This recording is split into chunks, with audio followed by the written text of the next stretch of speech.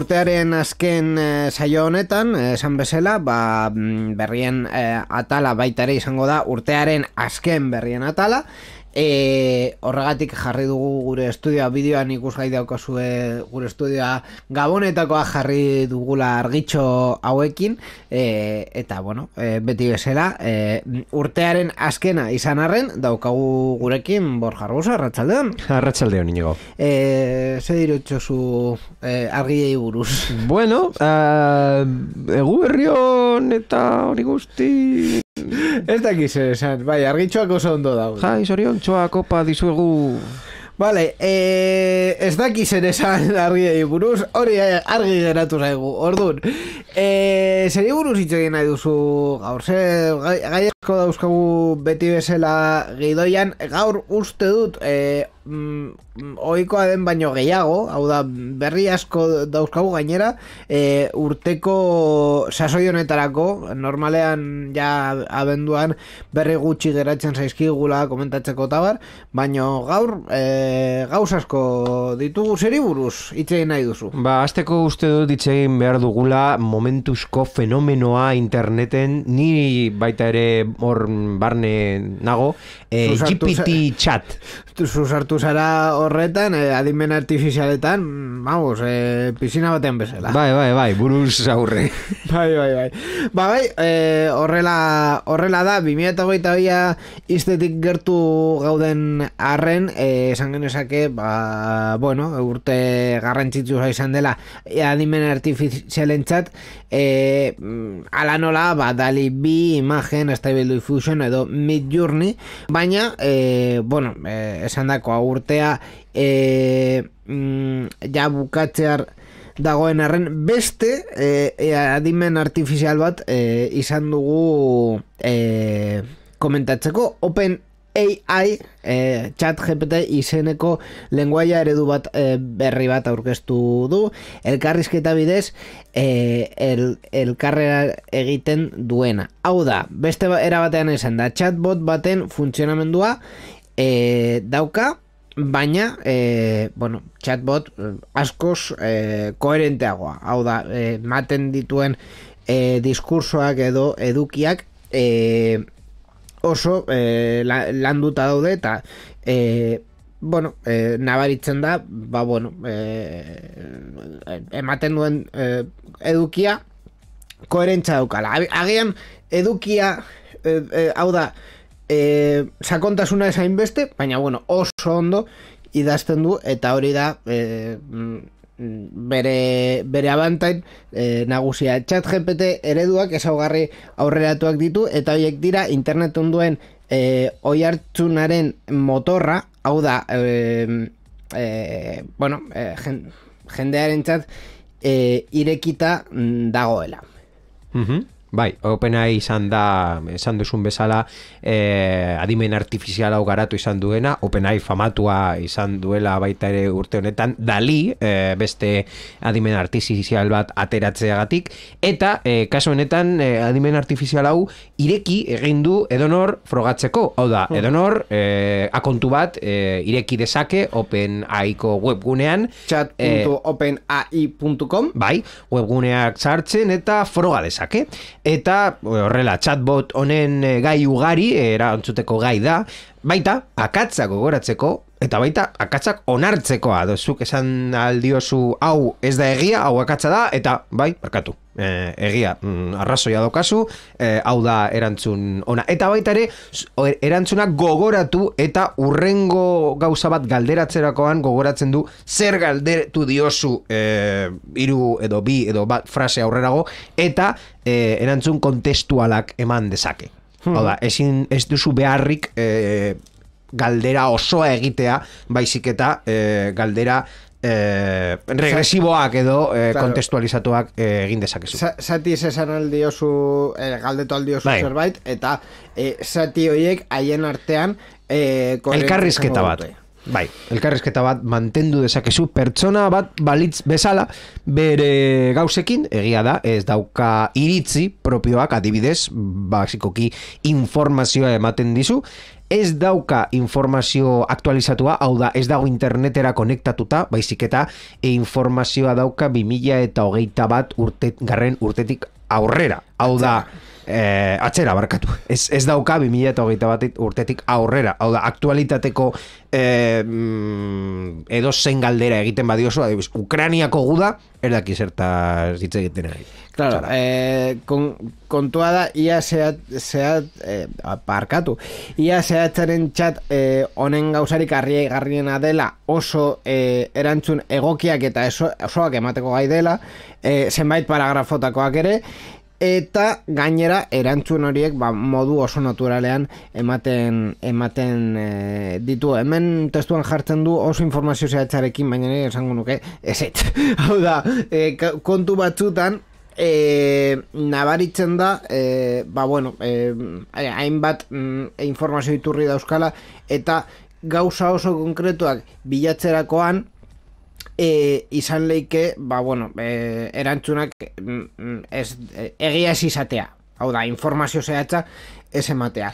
E, horregatik... Baina, zehatza ez du zuzena esan nahi. Zehatzarekin esan du konkretu edo konkret, beste e, adinmenak baino konkretuagoak bihurtzen direla. Ba, orduan, kontua da... E, detaileak, hau da, bai. zehaztasuna jartzen dituela, mm baina zehaztasun horiek ez direla egia izan behar. Hori da. Vale, ordun mm, ulertzen ari gara e, kontu honekin. Jende, eske nire, nire kontu azken egunetan horrelakoak ikusteakoan, e, izan da jende asko e, froga egin duela, eta bere e, et, frogak erakutsita, ba bueno, e, adimen artifizial honen e, erantzunak ezirela egia. Hau da, e, adibidez, e, ba, galdetzerakoan, e, ze programa emititu zuen e, Euskal Telebistak mm, bere lehenengo emisio bezala. Uh -huh. Ba, ematen zuen data bat esela zuzena, bai. esena zuzena.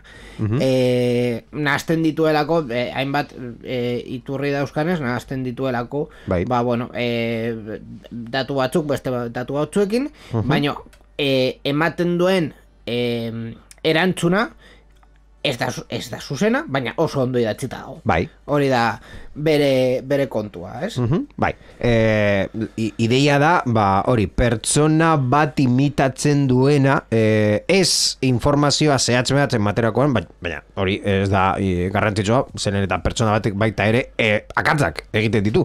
Hau da, zu mm, galdera hori egin aldiosakezu e, kalean dagoen pertsona bati, eta agian esango du, bazdakit, edo agian esango du mm, badakiela eta esango dizu informazioa, baina e, baita ere erruak eta e, informazio txarra eman dezake. Gauza da e, pertsona bat bezala erantzunak ematen dituela edota zuk ezin duzula e, esan, edo nola esan, edo zergatik esan, erantzun hori pertsona bat ez duela e, idatzi. Mm, bueno, zudakizu ez, ez, ez, ez dela, eh, da, bo segundutan jarri duela horre informazioa, baina e, pertsona baten replika egin nahi du.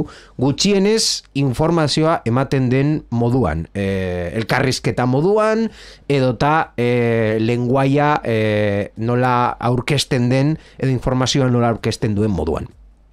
Zein da gakoa?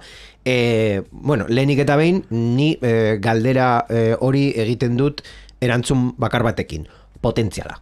Hau da, pertsona askok eta askok eta askok ikusten diote e, etorkizunaren gauza behitu, e, inigo, ni aldatuko dut momentu honetan nire betiko esaldia esateko adimen artifiziala etorkizuna dela. Ja, e, toaia bota dut eta e, ez da ez da e, Uber izango adimen artifiziala. Ez, ez, realitate virtuala ja hilda eta urrengo etorkizuna e, nire ustez amarkada honen etorkizuna e, izango da e, adimen artifiziala mm, pilo bat e, ere mutan. Claro. E, berrikusten ari dut horrela e, ba bueno e, zeharka e, e, bueno e, ia honek eman ditu, ematen dituen e, erantzunak adibidez, begira, telebista e, talde batean nagor sartuta telegramen eta eta hemen e, galderak egin diote, mm, adibidez, emai dazu, e, mm, Telecinkoko e, audientzia krisiaren e, irten bide bat. Eta, klaro, honek erantzuten duen testua oso generikoa da, ba, klaro, e, irten bide batzuk daude, adibidez, eduk esklusiboa, ematea, e, audientzia erakartzeko, eta bar. E, hori oso ondo idazten du, e, de hecho, e, bueno, ez dakit, e, hau erakutsi aldudan, bai, hau erakutsi aldizuet e, arazo barik, gazteran ez dago, baina, Bai. baina bideoan ere e, jarriko dugu, nola... Ai. Beitu, ba, badakizu zein den Holan. chat GPT-len lehenen arazoa, euskeraz ez duela hitz egiten. Ba, adibidez. Ba, hemen ikusten duzu, claro, erantzuna e, oso, oso ondo idatzita dagoela, baina erantzun hau, e, ba, bueno, e, orokorra da, eta ez, ez Bai. du... E, ez, ez, bueno, eh, bai, hori, orokorra da, ondo idatzita dago, eta jazta. Baina, baina, baina, baina, zerbait konkretu eh, eskatzen badiogu, adibidez, eh, nork eh, aurkeztu beharko zuen Operación Triunfo. Ai, bada! Claro, hemen jartzen du Espainian Operación Triunfo eh, eh, Bueno, aurkezle batzuk izan ditu. Mercedes Mila, Jesus Vázquez eta Emma García beste batzuen artean. Claro, eh, Jesus Vázquez bai, ez? Jesus Vázquez bai, baina Mercedes Mila eta Emma García Noiz. ez dira Nori kasu. galdu. ez dira kasu. Orduan, claro, hau da, hau da, ia, uste dut testuak, eh, eh, ereduak ikusita, Baina, a, a, gainera ez du, ez du erantzuten galdera. Nor, eh, bueno, nor bai, azkenean esaten du, mm, eh, famatua edo ospetsua den aurkezle bat, baina ez, ez, ez zuen galdetzen nor jadanik nor aurkeztu duen programa. Claro, eta gainera, esaten badiozu, oie, e, Mercedes Mila ez du inoiz Operación Triunfo aurkeztu. Bere erantzua da da, hori okerra dela, Mercedes Mila bibia eta batean Operación Triunfo aurkeztu zuela, eta bigarren denboraldian bimila eta bostean bueltan egon zela. Ah, bai. Osea, ez, ez da egia. Ez da egia? Hau guztia ez da egia. Ah. Ez, hau ez da zuzen. hau ez da zuzen. Claro, horregatik pot, e, e, potentzialari buruz hitz egiten duzunean Borja, ni... E, e, a ber, e, Bai, baina e, e, informazioa e, okerra e, bakarrik mm, hori konpondu da. Hau da, bere arazo nagusia informazioa okerra bada, ba hori hobetu alduzu. Baina e, zer aurkezten du txat hau inork ez duena egin e, lehen. Zu ja ezin duzula e, hori e, pertsona batekin alderatuz desberdintasunez ikusi. Hau da, e, emango dizut, e, bueno, e, hemen e, ematen dituzte eredu askok Twitterren e, ari batean non zenbait pertsona a, frogatu dute nola funtzionaten duen hau. Adibidez, e, pasatu, pasatu. bai, bueno, eh, Pa, pa, pasa dozu ya, e, irudian ere Uste, jarriko uste dut le, le, hor ja- hemen jarri dudan lehenengo arian, ez, lehenengoa, bigarrena, irugarrena, uste dut, laugarrena. Tu laugarren esteka, eta laugarren esteka honetan, eh, zenbat pertsona eh, frogatu dute eh, em, ChatGPT eta zer eh, ze konklusio edo ze ondorio atera dituen. Adibidez, eh, hemen eh, bigarren ah, hau da, paragrafo bat, bi, iru, lau bigarren paragrafoan jarri dezakezu tweet bat non esaten duen ChatGPT Stack Overflowerin bukatuko duela. Zeratik, eh, programazioa egiteko eh, tutorial eta sistema askorekin bukatuko duela zergatik esplikatzen duelako oso nola egin programazioa mm, edozein eh, lenguaierekin eta gainera programazioa egiten dizuelako. Hau, zuk esan aldiozu, eh, nik eh, kode bat behar dut egiteko ezakizer, eta egiten duzu. E, egiten dizu, barkatu. Baina mm, baita ere, eskatu aldiozu eh, testu iruzkin bat, adibidez, zu eh, ikasle bat bazara, eta batxillergoan bazaude momentu hontan, eta badakizu batxillergoan testu iruzkina, testu iruzkina, testu iruzkina, behar zenun, e, selektibitaterako, edo gutxienez nire kasuan, behar nuen testu iruzkin pilo bat egitea selektibitaterako, eta e, zu chat GPT-ra joan alzara eta eskatu e, mila hitz daukan testu iruzkin bat ez dakin zer e, gairi buruz eta egiten dizu. egiten dizu bost minututan. Ira, irakasle batek e, froga egin zuen eta esaten zuen o, testu eruskin hori bera mm, edo, mm, bere ikasleen edonor aurkezten bazuen e, bikain bat jarriko ziola. Hau da, Claro. bueno, bikain, edo, edo nahiko, baina mm, gutxienez e, mm, froga pasatzeko bezain ona dela. Orduan, momentu hontan ikasle den edonor eta mm, esan dudan bezala mm, bere etxeko lanak mm, testu iruzkin bat egitea bada edo, edo testu bat edo nahi duzun e, aktivitatea non idatzi behar duzu edo zure iritzea edo ba, ja ez, ja ez duzu Wikipediatik ateratzen. Zeren eduki hori gainera originala da. Orduan nola baiestatu dezakezu zuk e, irakaslea basara nola baiestatu dezakezu lan hori ez duela makina batekin Galdera ona, galdera ona. E, baina, bueno, e, es, esan dakoa, ez, e, honen... E, Eta froga gehiago, eh? Adimen artifizial honen emaitzak askotan, batzutan, ni esango nuke batzutan, zuzenak dira, baina e, izan leike ere emaitza okerra, e, Bai, bai. okerra izatea. baina hori entrenamenduarekin hobetzen da Claro, kontua da, horregatik esaten dut potentziala kontua da, e, zehaztasun asko dagoela eta pertsona baten emaitzen izan daitekela. Mhm. E, lehen komentatu dira zure, zure erabilera Mhm. kasua eta Bai. uste dut mm, agian honetarako askoz e, aproposa izan izan daitekela. Nola, nola zenbat, zen- zenbat ate, adibidez, irekiten du hau eh, eskuntzan. Nola eh, esplikatuko dute irakasle batek eh, eh, nahi duzun gaia eh, ordenagailu bat eh, momentu batean edo segundutan eduki hobeago bat egin ahal badu. Edo, eh, hau da, edo zein pertsona, edo zein pertsona dauka eh, chatbot hau erabiltzeko aukera, eta horrelako edukiak egiteko aukera, hori e, behartuko du irakasleei beren evaluazio sistema guztiak aldatzera. Claro, eh, Trampa ez egiteko. Claro, ba- baita ere Ba, azterketa batean oso erraza da, zen azterketan ez daukazu ordenagailurik, ez da mugikorrik, zure, zure Baina, eskuarekin. adibidez, e, tesak egiteko, hau Bai. da, e, Test bat, bai. azkenean, tes, tes e, guztitan, hiru lau aukera ematen, Mhm. ematen dira, hoien artean, bakarra da, Bai. normalean bakarra da zuzena. Bai. E, ze gertatzen da, e, denbora asko galtzen dela normalean, e, emaitza okerrak pentsatzen. Emaitza okerrak Logika dauzkatenak, gainera. Claro, e, emaitza okerrak, gainera, okerrak izan behar dira, baino plausibleak izan behar dira. Bai. Hau da, e, mm, per- e, irakurtzen duen pertsonak pen, pentsatu behar du benetan zein den emaitza okerra e, e, e, ez, ez, Hor dago gakoa. ez hain, hain askar, ezta?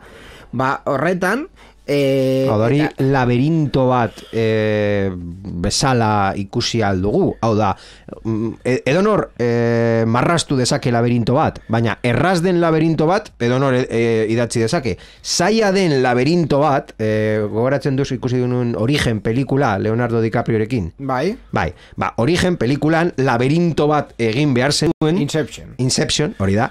E, eta laberinto bat zaila dena ateratzeko. Edonor egin dezake laberinto bat pin, pin, pin, pin e, Erraza dena. Baina mm, gakoa da laberinto zail bat egitea eta horretarako e, prozesu asko behar dituzu eta zure burmuina azkenean limitazio bat dauka Claro. ordenagailurekin alderatuta ez dagoena. Orde, ordenagailu bat eun mila aldiz baino hobeago egin aldezake zu baino laberinto hori eta e, beren limitazio bakarra momentu honetan informazio ona ez izatea ba nire ustez oso erraz e, konpon daiteken limitazio bat da. Orduan, horregatik esaten du potentziala dio, e, ikusten diozula. Eta ni bezala pertsona asko. Jadanik, ez dakit zenbat e, artikulu irakurri ditut, zenbat e, profesio eta profesional geratuko dira ez e, laneri gabe.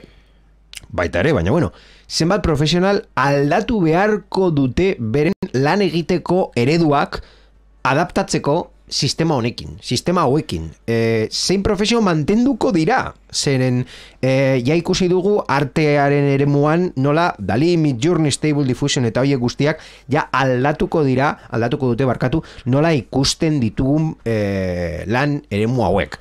eta bai- baita ere nolan lan egiten duten hor geratzen diren profesionalak. Hau da, e, ke, galdera asko mm, planteatzen ditu. Bai, e, ni, esan dako, ikusten dudan abental e, mm, argia izan daiteke hori, azkenean e, testua behar denean e, SH baizik eta ondo idatzita e, Mhm. SH baino zuzena, barkatu. Ez zuzena baizik eta ondo idatzita, mm, zuzena edo kerra izan, izan arren, ba, ba horrelako modeloak ba, interes eh, asko eh, izan aldute. E, dena den, ba, hori hori izan da e, baita ere 2000 eta hogeita bi honetan modan egon den e, e, kontu bat beste beste batzuen e, Ah, bueno, eta ez dugu hitz egin beste gauza bat lotuta dagoela. Bai. Nor, non usten du eh, Amazon, Google eta mm, mai berago batean Apple edo Microsoft eh, hainbat urtetan ja merkatuan jarri dituzten asistenteak. Non usten du Alejandra? Ze mailan? e, Zein da asistente honen etorkizuna? horrelako chatbotak onak e, bihurtzen badira, hau da, informazio zehatza edo gutxienez interneten aurkitu aldituzuna. non usten du nor? Alejandra. Don't call my name, don't Ideiarik ez. Ba, bere izena ja ez dute gehiago a, a, Hombre, eh, eskatuko. hau, hau, eh, bere izena ja ez duzu gehiago esango.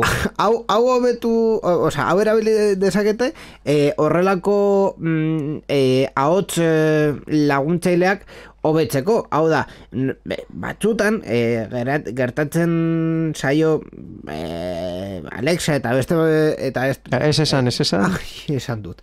Alejandra eta beste batzuei emait, eh, ematen dituzten eh, erantzunak Oso basikoak dira, zuzenak direla, baina oso basikoak dira. Bai. Ez dute mm, ez dira mamilarik. pertsona bat iruditzen. Claro. Ez dute, ez, ez, ez dute, ba, adian ez dute funtzio hori ez da mm, intentzioa bihurtzeko, baina zuk hitz egiten duzunean oso argi daukazu hor ez dagoela eh, elkarrizketa bat. Claro. Claro, eta ez, ez du eh, kontekstu hori edo ez du eh, galdetu diosun Ez. gauzak kontuan hartzen. Orduan, hau, eh, mm, bueno, eh, ostopo baino mm, eh, oportunitate bat izan daiteke horrelakoak eh, hobetzeko. Izango, izango lirateke, baina eh, jakin dezagun Amazonek eta Googleek eh, ez diete diru gehiagorik bota nahi ahotzen txulei, jakin dugu eh, bi konpainia, bueno, krisialdian edo krisialdi txikian nahi baduzu daukate mm, hainbat eremutan, eta eremu bat da eh, asistente eh, ahotzen txuletan dagoen asistente hauek garatzen dituzten ekipoak. Hau da, e, zein da arazoa? Ba, e, 2000 eta malautik non e, merkaturatu jarri, merkatuan jarri zuen e, Echo e, eta baita ere Google Assistant zeukaten e, bosgoragailuak, ez da hainbeste erabiltzen, baita ere pribautasunaren arloan jendeak ez du oso ondo kezka bultzatu zuten, eta, ba bueno, mm, Amazonen ideia zen eh, onelako aparatuak mm, gehiago erosteko kanal gisa erabiliko ziren, baina azkenean ahots laguntzaile hau bere ala bihurtu zen musika reproduzitzeko eta eguraldiaren baldintza transmititzeko, ba, eh, eta ez arropako detergente gehiago erosteko. Eta honen ondorioa, ba, esan dugun bezala, mm, agian ez dute hainbeste ja diru hor jarriko, eta mm, bosgoragailuak ja ez dute ikusiko dugu hain presio onak izango zen. Azkenean zuk erosten duzu horrelako bosgoragailuak hogei euroren truke Bai, eh, bai. hau da, Us- dut, presioak lurrera botatzen zuten. Eh, Uste dut eh, presioak lu- eh, osea, kon, kontua hau bada, uste dut presioak lurrea botatzen jarraituko eh, dutela batez ere eh, estok kentzeko eta gero, gero eta eh, bosgora gutxiago eh, izateko eh, biltegietan. eta zer egingo dute teknologiarik zaharkituta geratukoa hor txiko dute ja zaharkituta eta A ber, zaharkituta bere erabilera badauka eta eta ondo badoa aurrengo ondo badoa, hau da. E, Baina errekurtsoak ez badute- e, eguneratu gabe ondo e, ondo jarraitzen badu, hau da erabilgarria jarraitzen izaten badu, mm, zertarako ukitu behar duzu. hor dago Eh, gakoa. diru, dirua ematen badizu, e, bosgoraiuak e, saltzen, bueno, egia da bosgoraiuak ere ez direla oso garesti saltzen orduan. Baita ere badaude Ba, bueno. pertsonak frogak egin dituztenak alderatuz ze emaitzak ematen dituzten Google Assistant eta Alejandra mm, chat GPTrekin alderatuta eta esaten dute, eske bakarrik behar dugu informazio aktualizatuta edo internetera konektatuta egotea eta eh, eske mm, ez dago konparaziorik.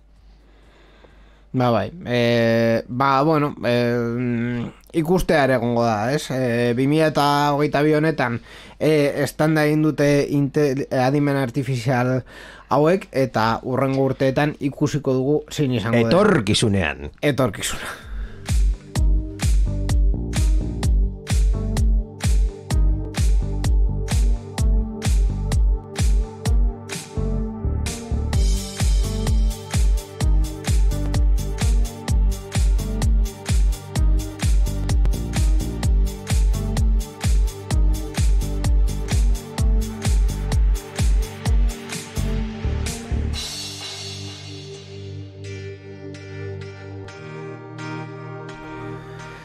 Borja, ze, ze gehiago daukagu, ze, ze gehiagori buruz hitz egin nahi duzu.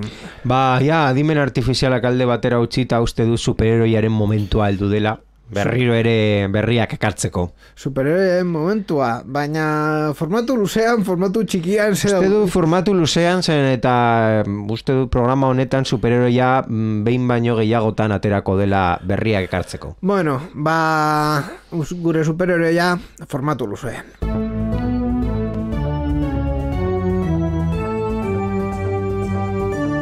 Europar batasunaren berria. Sarean zehar.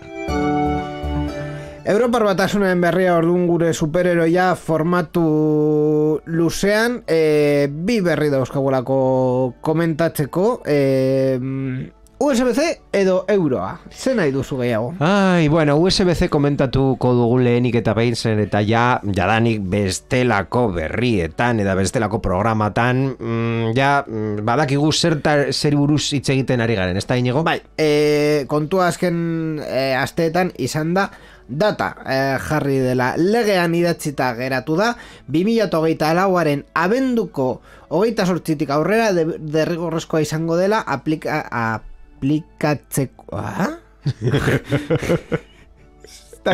Zer den hitz hau.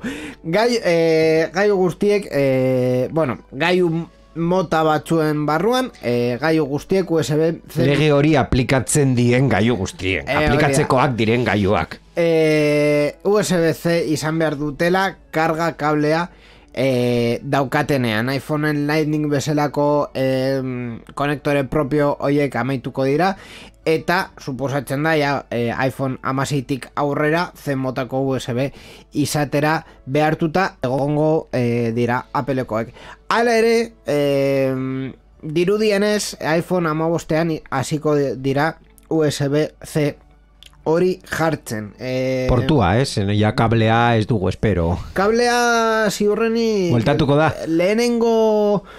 Lehenengo momentuan, bai, ja, masirako uste dut ez ez, baina amagostean agian jartzen, jartzen Ikusiko dute. dugu. E, dena den, e, bueno, hau filtrazio bat izan da, orduan ze ikusiko den azkenean ez, ez dakigu, baina zurrumurru batek esaten, esaten zuen e, MagSafe eta listo, hau da, kontaktu gabeko, e, konektore gabeko karga jartzea, eta horrekin, listo, e, arauak esaten duelako konektorea badago USB-C izan Ez- behar dela. ez jarri Baina ez badago konektorerik, hau da, ez bada behar, Xake pues ya mate. está.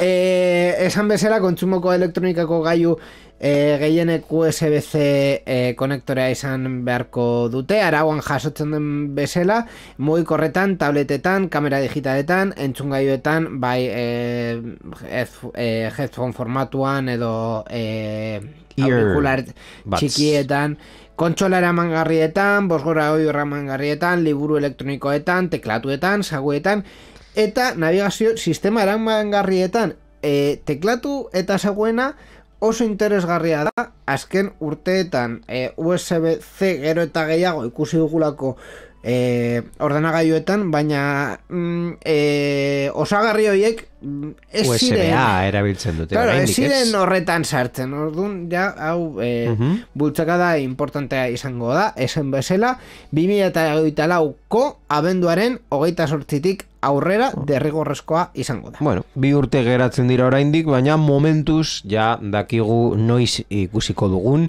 mm, legez. Beste partetik, e, Europar batasunean e, prestatzen ari da euro digitala. Mhm. Hau da, e, bueno, Christine Lagarde, Europako, Europako Banku Zentraleko presidenteak azaldu duenez, e, Europako Parlamentuarekin eta Europako Batzordearekin e, elkarlanean ari dira euro digitala garatzeko.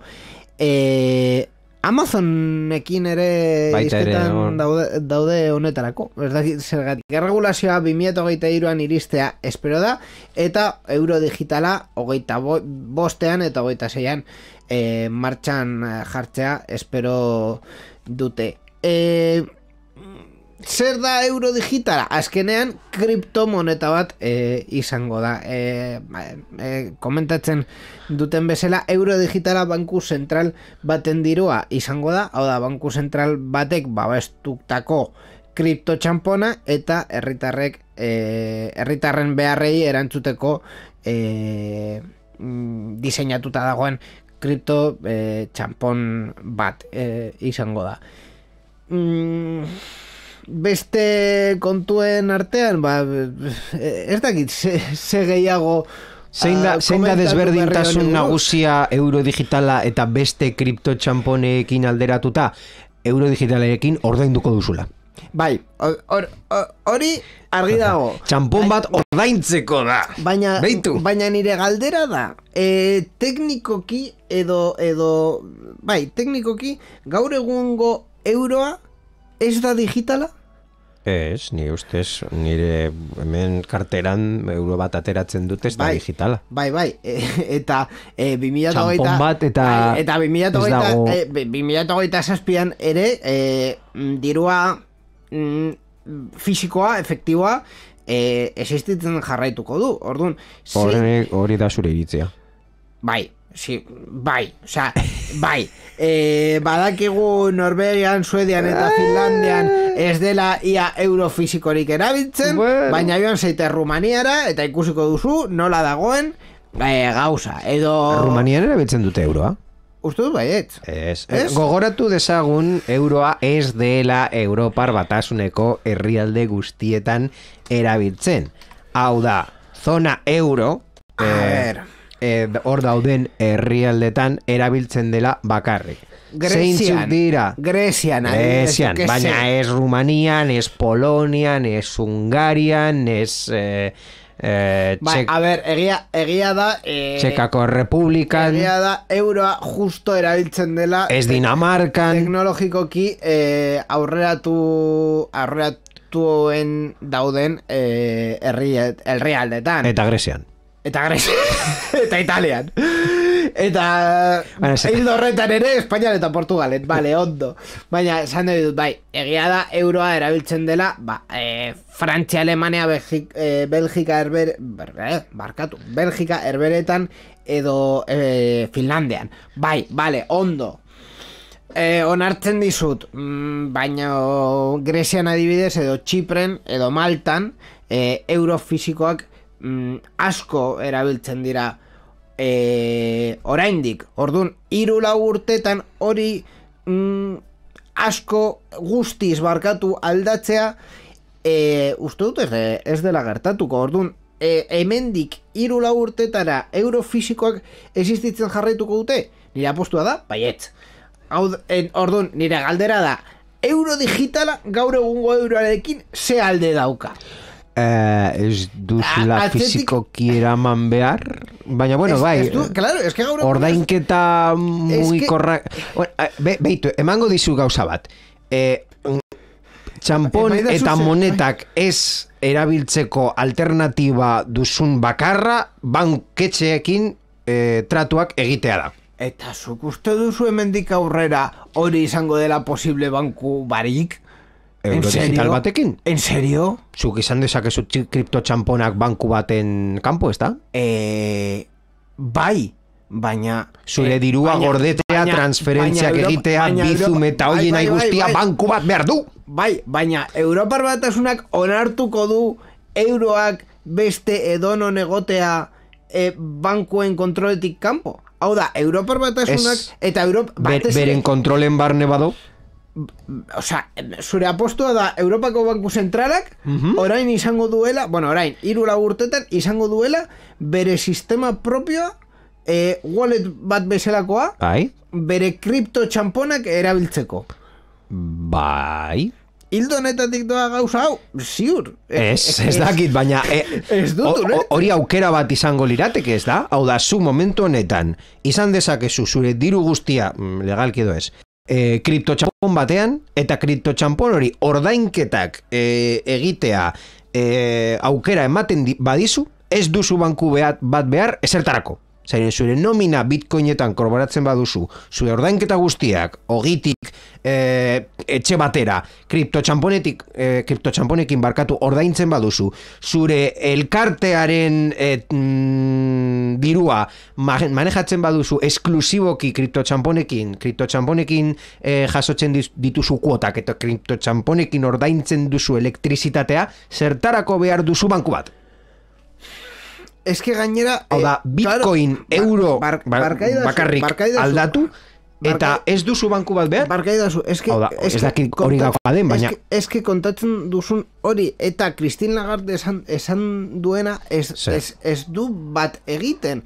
Hau da, e, em, suposatzen da kripto Hau da, euro digitala banketxean izan behar duzu? suposatzen da ezetz. Baina, claro, hemen e, e, e, Europako Banku Zentralaren zuzendariak esaten duena eta e, haien webgunean jar, jarri dutena da alde batetik ez daukatela interesik e, datu mm, individualak jasotzea Mhm.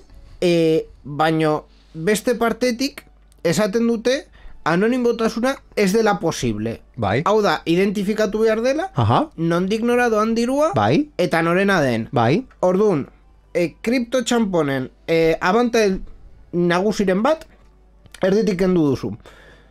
zein. Anonimotasuna, Bai, bitcoinarena, bai. vale? Baina Bai, nahi baduzu abantai hori.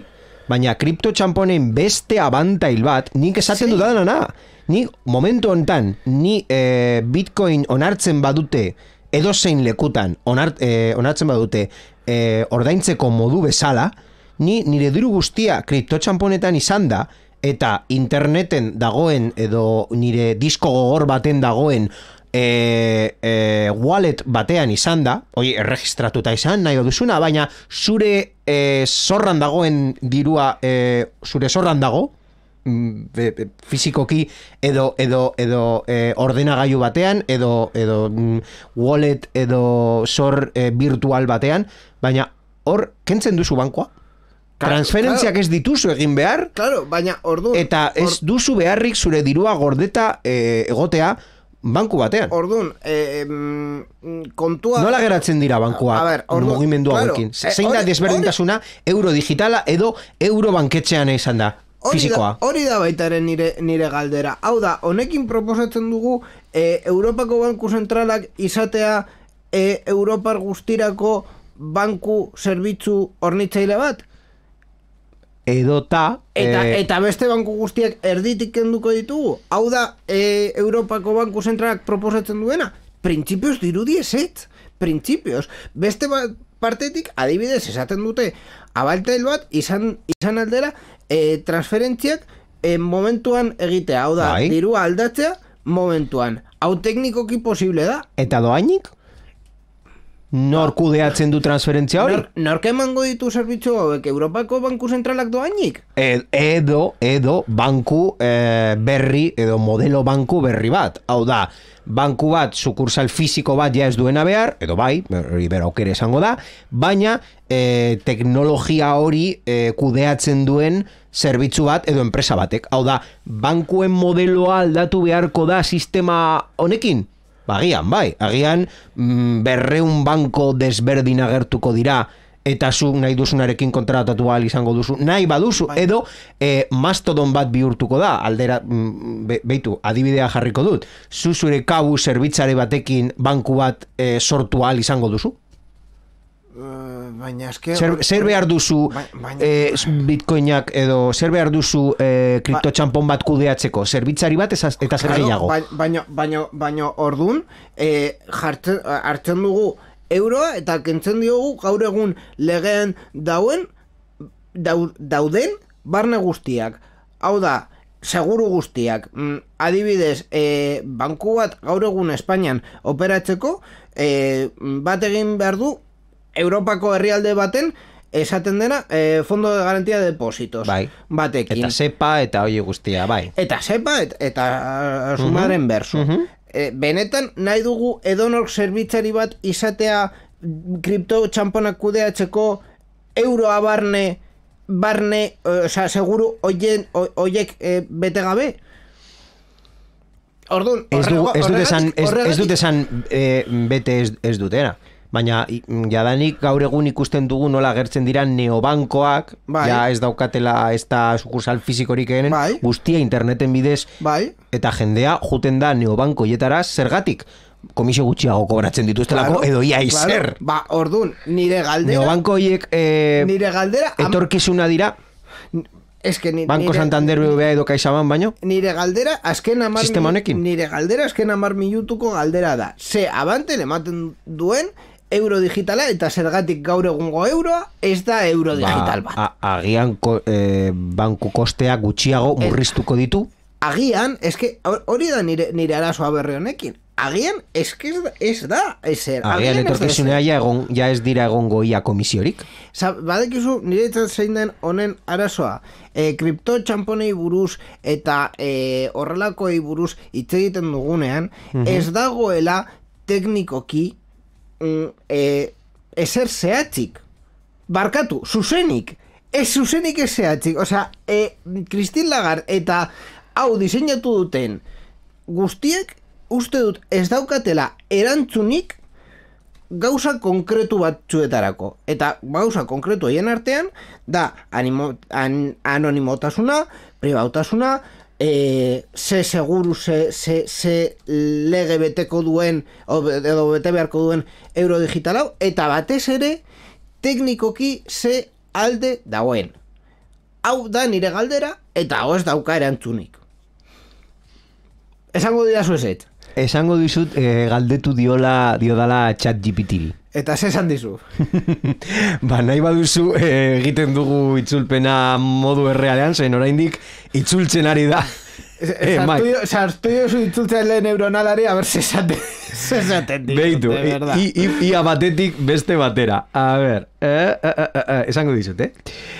Ah, kriptomonetek hainbat abaintaia eskain, eskaintzen dituzte. Besteak beste, bat, dezentralizazioa. Kriptomonetak bloke kateko teknologietan orain oinarritzen dira, hau da, blockchain. Transakzioen eta txampon berrien jaulkipenaren kudeak eta dezentralitatua albidetzen dutenak. Vale, Horrek esan nahi du, ez daudela banku zentral baten edo beste edo zein agintaritza zerbitza zentralizaturen mende, Vale, hori jakentzen dugu. Claro, hori kentzen dugu, hau, Europako Banku Zentralak de diseinatzen ari duelako. Urrengoa. Ai, eh, ez dakize botoi eman diot eta tx- itxi dut. Eh. es que ez dago gehiago, Borja, es que ez dago gehiago. Bueno, sekurtasuna, baina bakarrik ikusi dut gainetik eh, sekurtasunari buruz hitz egiten ari zen momentu hontan. Eh, Baina, bueno, edo nor bilatu dezake, jarri ireki eh, chatbot hau eta eskatu jozu ze abantail eh, ematen dituzte kripto txamponak. Hau da, bigarrena da sekurtasuna, eta nahi baduzu jarraitzen dugu hildo honetatik.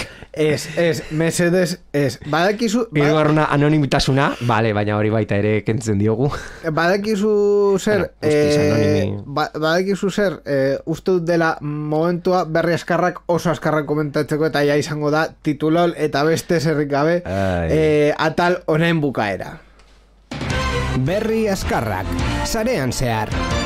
Eta berri askarretan daukagu lehenengo bezala. E, Android amabikan e, Wi-Fi-a aktibatzeko mm, aukera izango duzula. Amairun, amairun. Amairun, barkatu. Wi-Fi aktibatzeko aukera izango duzula, e, egaldi moduan izan da. Bai, Android amaikatik ja posible zen Bluetooth erabiltzen jarraitzea hegazkina eta iPhone aktibatuta. 6-tik, de verdad. Beraz ez dugu konexioa galtzen gure entzungailuekin adibidez. Eta gaur antzeko beste nobedade bat dator. Googleek orain wifi aktibatzea albidetzen du hegazkin modu aktibatuta, beraz hegazkinaren konexioa erabili ahal izango dugu mugikorreko komunikazioak erabat desblokeatu beharrik gabe. Horrek ere eskaintzen digu modu askar bat konexio mugikorra izteko, baina internet wifi bidez mantentzeko. Android beti bezala, e, urte batzuk, urte nahiko urte asko, berandu. Disney Plus bere e, iragarkien e, plana argitaratu du. Bai, Disney Plus Basic deitzen da eta Netflixen iragarkiak dituen planak ez bezala UHD laukaraino edukia erreproduzitzea ahalbidetuko dudu eta HDR amar biztaratze teknologia Dolby Vision eta IMAX Enhanced alderdi harreman zabaldua eskainiko ditu. Edukien katalogo osoa ere eskainiko du, hau da lizentzien murrizketari gabe. Gainera, edukia lau gaiutan aldi berean erreproduzitzeko aukera emango du. Bere iragarkiek amabos hogeita mar edo berrogeita amabos segundu iraun ahal izango dute eta hoiek orduko lau minutu publizitatea batu ahal izango dute konpainiak eh, eskola aurreko edukia adierazten badu ere. Hori bai, ezingo da edukirik deskargatu. E, azkena, esan nahi du kom, e, eskola aurreko edukia honen kanpo geratuko dela, Ah, bai. vale? E, dena den, ba, bai, Netflixeko e, ordainketa, mm, ordainketa ah, plana, baina e, iragarkiekin, baina ondo eginda. Hori da. Hori da, hau, bale? Netflix ondo eginda. Eta azkenik, e, Europako Europar batasunak e, mm, kotxen arpide, arpidetzei buruz salbatuko dugu. Bai, horrela izango da, Mercedes-Benzek ezin izango du Europar batasunean bere auto elektrikoen potentzia hobetzen zuen arpidetza zerbitzua eskaini, eh, kontatu genuen bezala urteko ordainketa baten truke. Europar batasunean sistema hori legez kanpokoa izango litzakteke Mercedes-Benzek funtzio gehigarri horengatik kobratu nahi duelako, ez litzateke zergetatuko adibidez, doain eskainiko baitu. Legearen asmoa da autoa erosten dugunean zehatz mehatz jakitea zer erosten ari garen eta beraz ibilgailua garestuko duten ezkutuko kosturik ez egotea. Um, ondo deritxo, osea, ya está. Eskerrik asko. Europa. Eskerrik asko, Europa, hori da. Eta esan bezala berri atal hau bukatu behar dugu ja denboraz kanpo gaudelako. Dena den, berri oso interesgarri batzuk eratu zaizkigu eh, kanpo adibidez, Office irureun eta irurogeita bost legez kanpotzat jo dutela am- la- Alemaniako eskoletan, delicioso. Bueno, ba, eh, legez kanpo eman dutena, eh, konkretuki da, eh, datuak, en, en, eh, umeen datuak, eh, Alemaniatik kanpo e, gordetzea, baina bueno, edo trenes beste aukera bat duen egaldiak debekatu ahal izango ditu frantziak. Uf.